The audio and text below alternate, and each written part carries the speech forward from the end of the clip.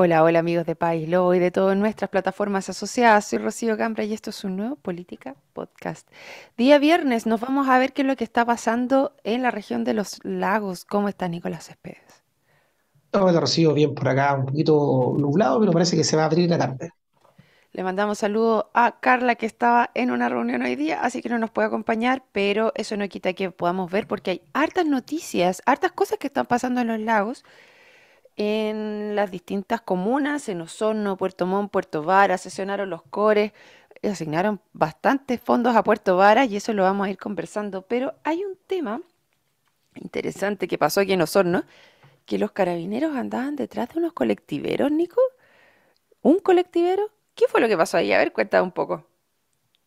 Sí, lo que pasa es que el lunes pasado hubo una persecución policial eh, frente a un, un chofer de un colectivo en la ciudad de Osorno, Eh, y no es de extrañar, ¿ah? O sea, lo extraña la persecución, pero, pero en general eh, el tema de los colectivos eh, deja mucho que desear respecto a los servicios que prestan, porque cada vez es más informal.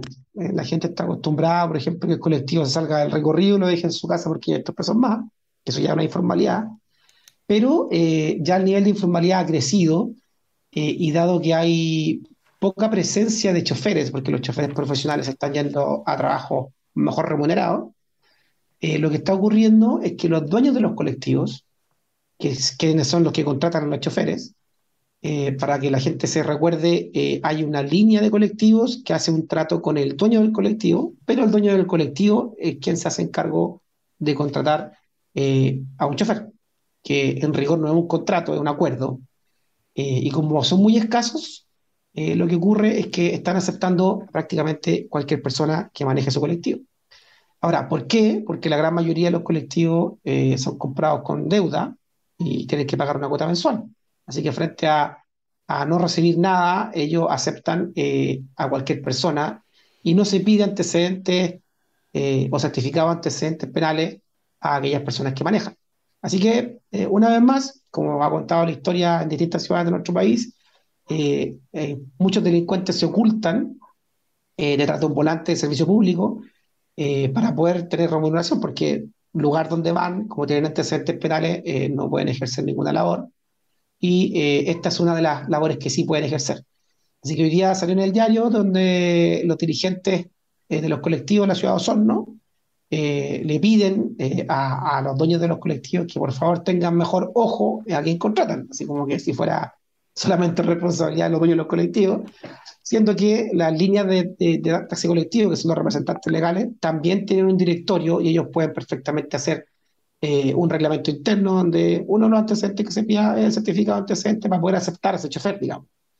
Así que hay un tema ahí eh, que está creciendo, que es complicado, lo hemos visto siempre en los Uber, por ejemplo, donde también se pueden esconder, eh, o en las plataformas. Y yo recuerdo en mi época de Ceremi que se levantó el trabajo con el Ministerio de Transporte para iniciar un registro. Eh, hoy día los furgones escolares tienen registro de choferes y ayudantes, pero no, no el transporte público mayor ni menor, los buses ni los, ni los colectivos. Y algo bastante interesante de hacer porque podría asegurar personas de calidad los servicios. Oye, pero igual aquí, por lo menos a mí me genera un, un- como cierto nervio, porque ya, una, una cosa es personas con antecedentes. ¿Qué significa tener antecedentes? Porque es que tú estás en pleno cumplimiento de una condena y por otro lado una persona con antecedentes tampoco tiene posibilidad de trabajar para recuperarse. Una cosa es que efectivamente estés siendo buscado por un delito que no has eh, comparecido frente a la justicia, que me imagino que fue por lo cual los carabineros estaban Claro. persiguiendo a este chofer.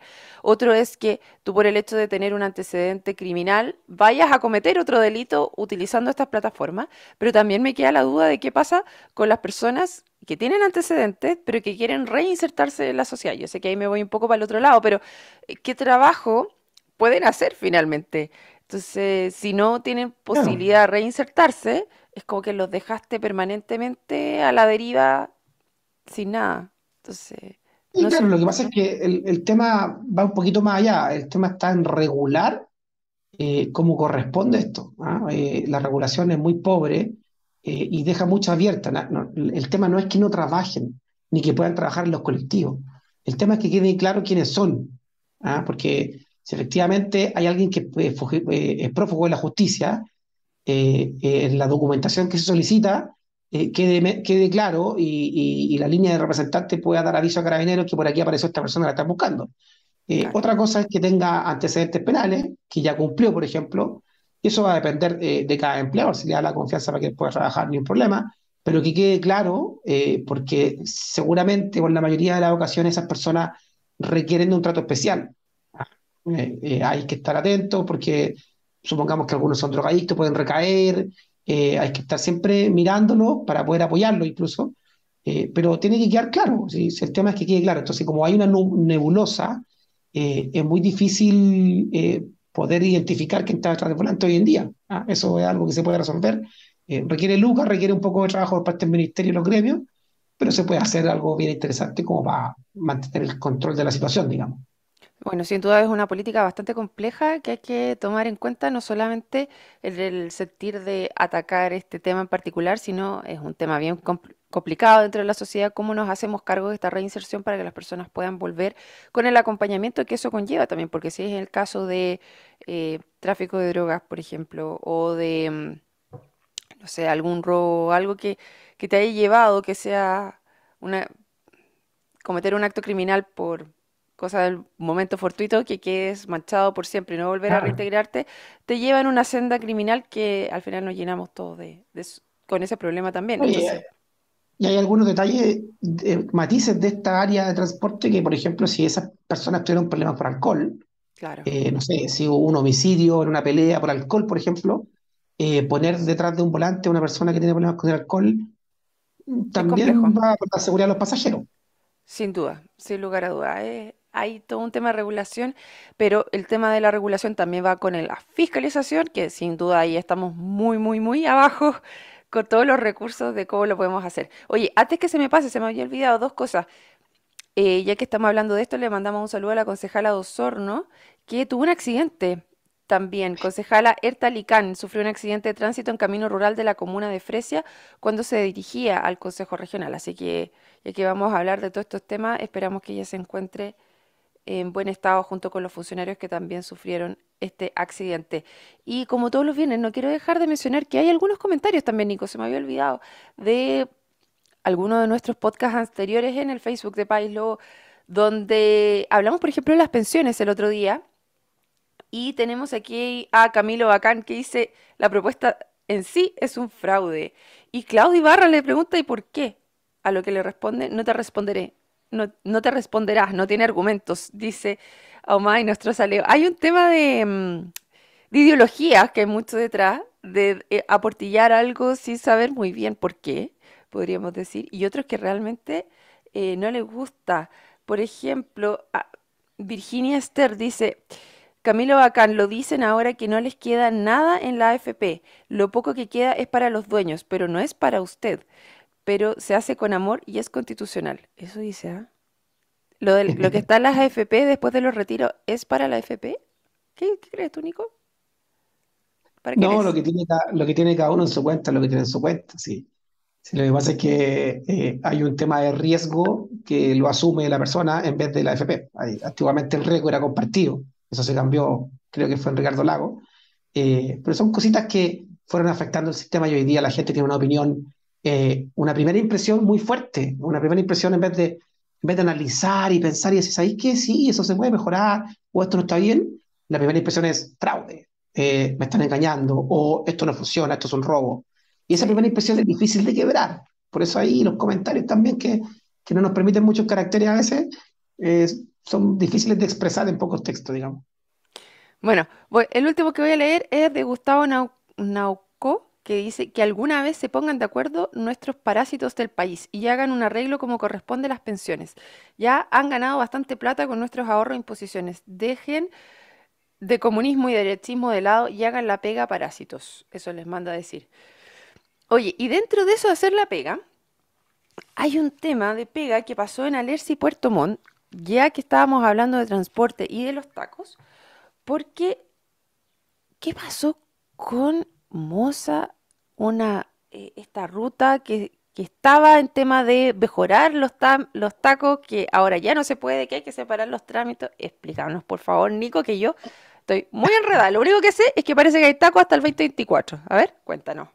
Lo que pasa es que Puerto Montt, Puerto Montt cayó en un problema eh, habitacional hace mucho tiempo, cuando, estaba, cuando era alcalde el senador Quintero, eh, y se empezó a hacer esta ciudad satélite que se llama Alerce, que había un Alerce histórico, después Alerce Norte, después Super Alerce y Mega Alerce, y ahora ya tiene casi 80.000 habitantes. Eh, yo diría que tiene más habitantes que Puerto Vara y está en un lugar muy concentrado. y está alrededor de uno, debe estar unos 10 kilómetros, 8 kilómetros de la ciudad, del centro de la ciudad. Eh, y esa ruta es una ruta muy compleja. Eh, los tacos son bastante grandes. Yo, cuando trabajaba en Puerto viajaba todos los días por ahí. Eh, hay una medida de reversibilidad que permite en la mañana ir un poquito más rápido, pero después de las 9 ya el taco es imposible, te demoras 45 minutos fácil. la ruta no está diseñada para tanto flujo. Y lo que se hizo hace muchos años atrás, yo me, me más o menos el 2012 por haber sido, por lo que recuerdo que a mí me tocó evaluar estos proyectos en, el Ministerio de Transporte, se hizo un proyecto de interconexión entre Alerce y Puerto Montt, que iba a ser una especie de bypass que iba a ir por dentro, de manera tal de conectar eh, al primer tramo de doble calzada que está cerca de Cuarta Terraza. Esa interconexión, eh, un proyecto Serviu, eh, se empezó a ejecutar hace un par de años atrás, pero hubo un problema con la expropiación.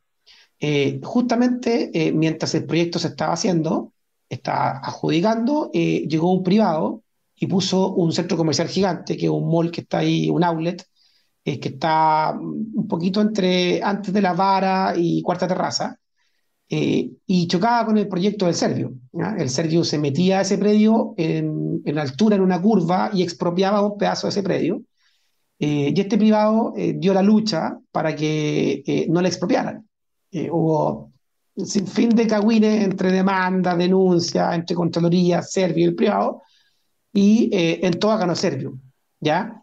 Eh, pero lo que ocurrió es que Servio fue avanzando en el proyecto eh, y avanzó bastante, digamos, y llegó hasta el sector donde hay que hacer el paso sobre nivel, que hay que pasar por arriba de la línea del tren, por arriba de la ruta actual y meterse a este predio privado notificado de expropiación hace mucho tiempo para poder continuar con, con el proyecto. Eh, pero eh, llegó la inflación, eh, empezaron a subir los precios y esto se dilató, se dilató con temas judiciales y al final el Servio decidió terminar con esta obra para poder retomarla después y separarla en dos obras. una es la, la, avenida propiamente tal, que es la que tiene menos problemas, y otra es el paso sobre nivel. Entonces lo que nosotros pensamos ahora es que se va a rediseñar el paso sobre nivel considerando la doble calzada que existía hoy día, porque este proyecto originalmente tenía solamente una calzada, eh, porque era muy antiguo. Así que, por un lado, bien, porque se va a reestructurar de manera que se acople a lo que está construido hoy día por el MOL, que es una medida de mitigación doble calzada que quedó bastante buena, pero por otro lado, pésimo eh, que no eh, hayan sido capaces de hacer esa modificación dentro del mismo contrato. ¿Por qué? Porque ¿qué se viene ahora? se viene el término de este contrato, la reprogramación de la obra por separado, eh, las bases de licitación nuevas que entra la Contraloría, la aprobación de la Contraloría, la adjudicación por una empresa, el inicio de obras. O sea, vamos a tener esa ruta terminada, eh, yo creo que el 2024 con suerte, eh, por lo menos un par de años seguro. Así que hablemos del 23-24, el 25 podría entrar en, en, funcionamiento. Y si uno ve la tasa de crecimiento automotriz, a pesar de la crisis, está sobre el 4%. Entonces todos los años vamos a tener un 4% más de autos que el año pasado y, y, ya no, la ruta no va a dar. Así que el llamado a las personas de ahí es que a tener paciencia, porque los taxis que hoy día existen eh, van a seguir creciendo por lo menos de aquí al 2025, lamentablemente. ¿Y ahí no hay transporte público, Nico? Hay transporte público de Alerce eh, a Puerto Montt, pero están en el mismo taco porque ocupan la misma ruta. Eh, hay proyectos de Sectra que están haciendo corredores de transporte público entre Alerce y Puerto Montt, pero son cosas que están en anteproyecto que también están para después del 2025. Así que, lamentablemente, y ojo que frente al mall eh, hay, están construyendo eh, nuevas casas. Hay un proyecto gigante de 3.600 casas que lo más probable que también tengan salida a la misma ruta. Así que eh, vamos a ver qué pasa, vamos a ver cómo se desarrolla este conglomerado de gente que está viviendo en ese sector. complejo se ve el escenario. Eh, qué lástima que no haya podido solucionarse, que no haya habido una buena gestión ahí, ni anteponerse un poco a este aumento de capitales que se necesitaba para poder terminar con el proyecto y, que la gente pueda andar más rápido por esa zona y mm, pasar más tiempo en familia también. Oye, Nico, hay tres proyectos que, el, que se aprobaron ahora a nivel regional para Puerto Varas. Uno es una PR, otro tiene que ver con los bomberos y el otro el Cerro Filipi. Cuéntanos un poco, partamos por el APR. Sí, el APR es eh, una pedida en el lugar de las Termas de Ralul, que es un lugar rural de Puerto Varas. Está como camino Ensenada, un poquito más allá hacia, hacia el Estro Roncaví. Eh, es una pedida que se hizo por el municipio el año 2011. Eh, es una PR para que la gente sepa de agua potable rural, que en el fondo se junta cierta cantidad de personas que están afectadas porque no tienen agua potable, y se levanta un proyecto donde se hace un pozo, ese pozo se levanta con una bomba a un estanque y ese estanque se genera una red de agua potable a, cierta cantidad de casas que están en el sector.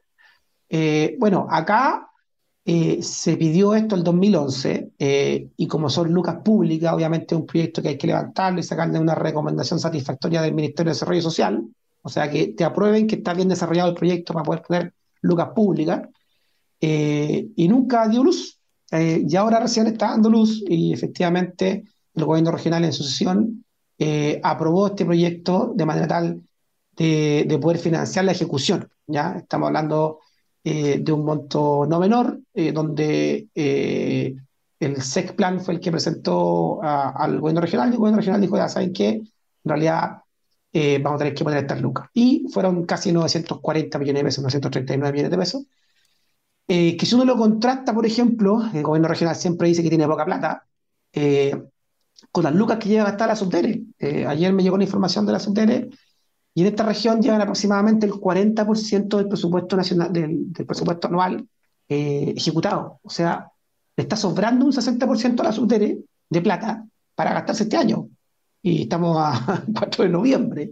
Entonces, eh, hay muchas lucas eh, y efectivamente alguien pudo hacer esta gestión antes y hoy día ya estaría en, en, ejecución. Así que, bueno, por fin se cumple que esas personas son 87 familias, no deja de ser, son casi 250 personas.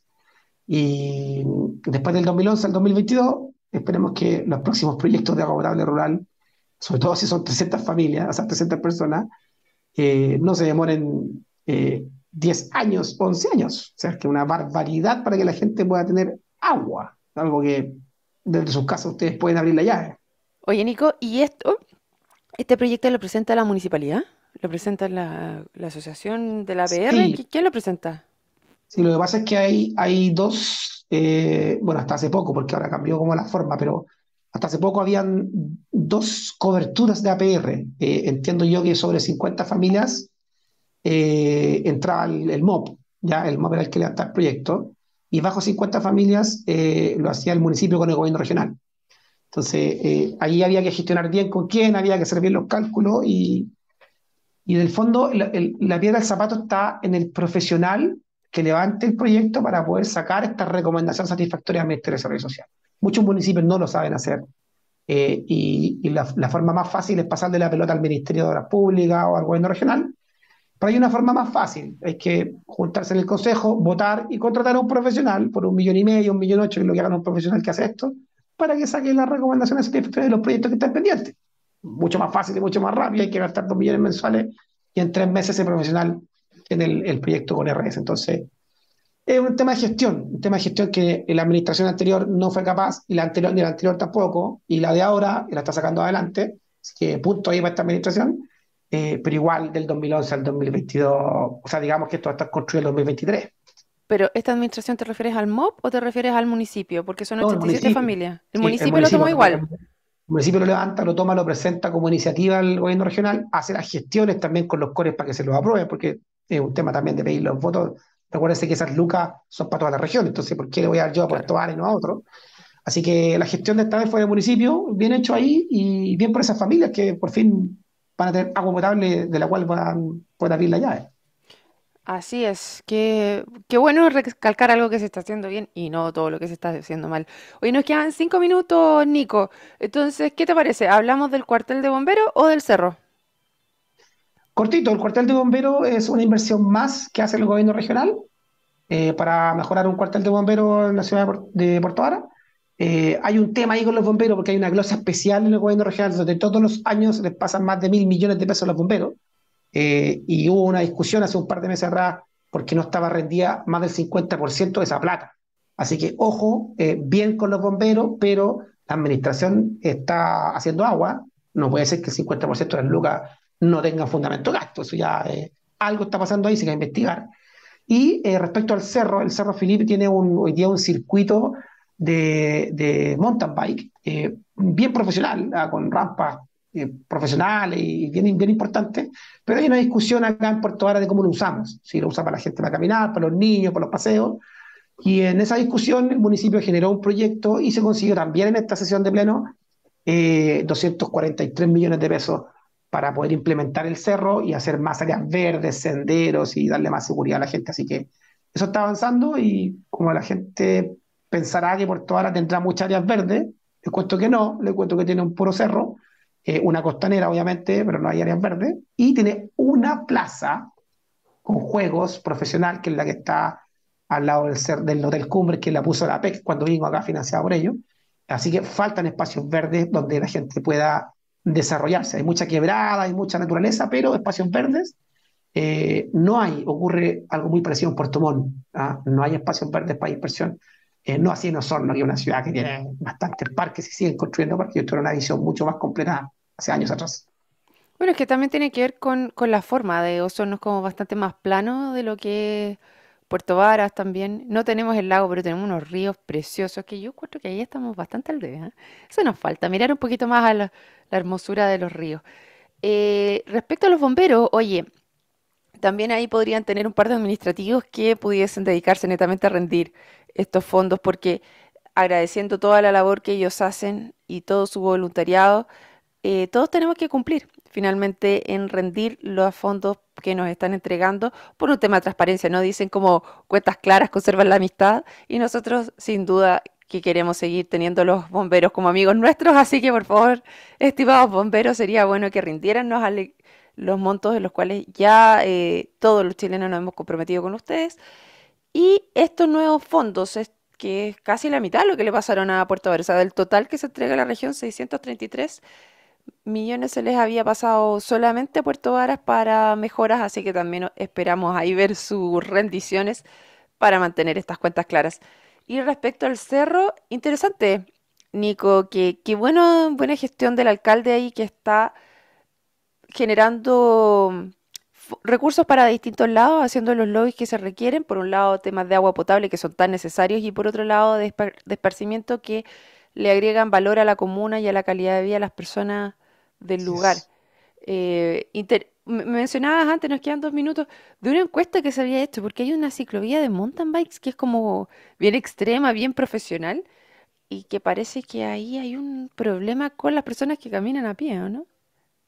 Bueno, caminan Sí, a lo que pie. pasa es que, lo que pasa es que estaban, había- hay un tema ahí porque eh, eh, nadie quería como invertir en el- ponerle Lucas, digamos, al cerro, eh, y llegó una corporación privada y, y le puso Lucas y desarrollaron todo un tema con las mountain bike. De hecho, hay muchos jóvenes que van, pero cuando te digo que algo como profesional es porque, bueno, yo no soy del área, pero cuando voy al cerro eh, me doy cuenta cómo vuelan, o sea, pasan mountain bike por una rampa eh, 7 metros, 8 metros, saltando pendientes, eh, bastante increíble. Hay varios senderos de distintas dificultades. eh, y la idea es que no se pierda eso, ¿ah? porque ahí estaba la discusión. Eh, se va a hacer algo todo nuevo en el cerro y eso se va a perder. eh, y parece que por ahí estaba el problema. ¿ah? Eh, eh, hay que compatibilizar las dos cosas, hay espacio para las dos cosas, pero hay que levantar ese cerro porque arriba, ah, donde hay una cruz con una iluminada de noche, hay también unos baños que están abandonados, hay unas casonas que están ahí tiradas, eh, hay harto que hacer. Yo recuerdo cuando estaba Seremi Amanda Milosevic en Cultura, había un lindo proyecto para hacer una especie de centro cultural arriba, eh, donde se desarrollan distintas actividades y la gente podía participar a través del municipio. Así que esperemos que avance bien y, y que sea para toda la comunidad y no sea solamente para los ciclistas y no sea solamente para el paseo a pie, como tú dices, eh, o para pasar el perro, sino que sea algo más interesante que le dé valor a realmente un valor mayor a la comuna. Sin duda, eh, sin duda que yo creo que se pueden hacer las cosas en la medida que haya voluntad política, tanto de, de la política de los políticos como de todos los ciudadanos, ya sea de esta asociación de, se nos acabó el tiempo, de esta asociación de ciclistas como de las personas que quieren ir a pasear. Yo creo que si todos trabajamos juntos, se pueden lograr grandes cosas y que todos podemos caber y pasarlo muy bien. Nicolás Céspedes y todos los que se sumaron el día de hoy a esta conversación, les agradecemos y les comentamos que nos vemos el lunes en otro Política Podcast. Chao, chao. Chao.